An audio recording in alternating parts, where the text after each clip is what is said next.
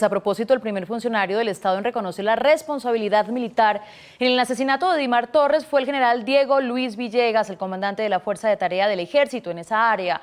En nombre de los 4.000 hombres que comando, les pido perdón, dijo el general en su discurso para la comunidad del Catatumbo. ¿Por qué lo hizo? ¿Por qué lo hizo?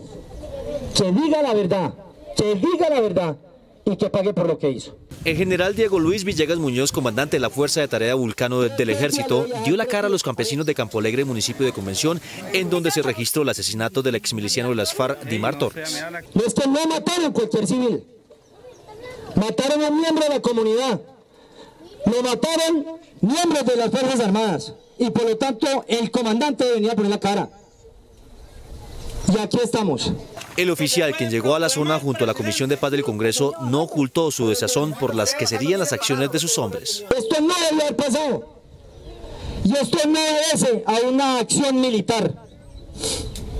Pero yo no soy quien, yo no lo soy para decir lo que pasó allí. Pero sí le doy la tranquilidad que yo tampoco estoy tranquilo con lo que pasó.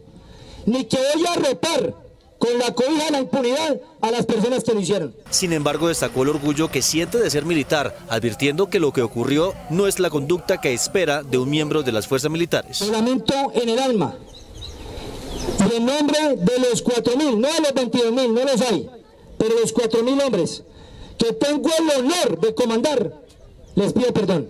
Este general, que ha despertado admiración y curiosidad por el valor de reconocer de inmediato el crimen de Estado que denunció la comunidad de Campo Alegre, tiene su propia historia. En diciembre de 2018 fue objeto de cuestionamientos en el Congreso cuando se decidía su ascenso por la investigación que tenía por un caso de falso positivo y que había provocado en 2016 su captura.